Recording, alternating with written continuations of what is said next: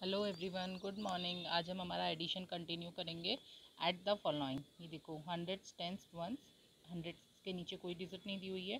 Tense के नीचे और वंस के नीचे एटी नाइन और ट्वेंटी फोर सबसे पहले नाइन और फोर नाइन और फोर कितना होता है? थर्टीन थर्टीन का थ्री हमने यहाँ लिखा.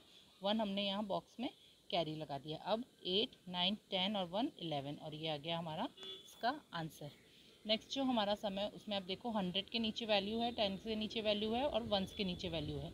यहाँ पर नेक्स्ट में टेंस के नीचे वैल्यू है वंस के नीचे वैल्यू है बट हंड्रेड के नीचे कोई वैल्यू नहीं है, कोई बात नहीं लेट इट बी रहने तो इसको ऐसे ही।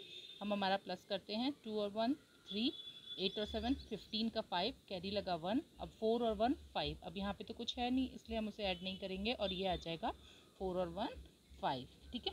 इसी तरीके से आपको कंटिन्यू करना है यही नेक्स्ट जो है हमारा क्वेश्चन ये आपको अपनी नोटबुक में करना है। Arrange in columns and find the sum of the following इन्हें आपको अपनी नोटबुक में उतारना है। सेम वही ones tens hundred three digits हैं और नीचे हैं टू डिजिट तो ये आपके सिर्फ़ टेंस और हंड्रेड के नीचे आएगी और इन्हें डिजिट के नीचे डिजिट उतार के बॉक्सेस में और आपको ऐड करना है। Okay thank you